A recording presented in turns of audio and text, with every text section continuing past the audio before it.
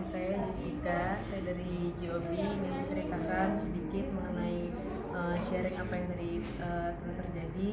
Uh, saya ini udah dua kali Pak Cahya datang ke tempat kami di GOB, tapi rasanya yang pertemuan kedua ini lebih lagi saya lebih merasakan lawatan ke Kudus benar-benar nyata ke saya. Benar-benar ada bahasa-bahasa yang baru yang uh, belum pernah Tuhan kasih sebelumnya dan ini kesempatannya Tuhan kasih di waktu uh, sekarang ini. Oke. Okay. Uh, nama saya Nina dari GOB Pamulang, GKB Pamulang. Uh, sama, Pak Cahyo udah datang ke sini dua kali bersama tim TWC. Uh, perbedaannya uh, mungkin aku juga sebenarnya udah lahir baru, cuman di sini uh, ngerasain namanya lahir baru seutuhnya.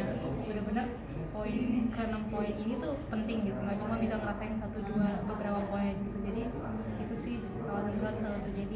kalau kita fokus sama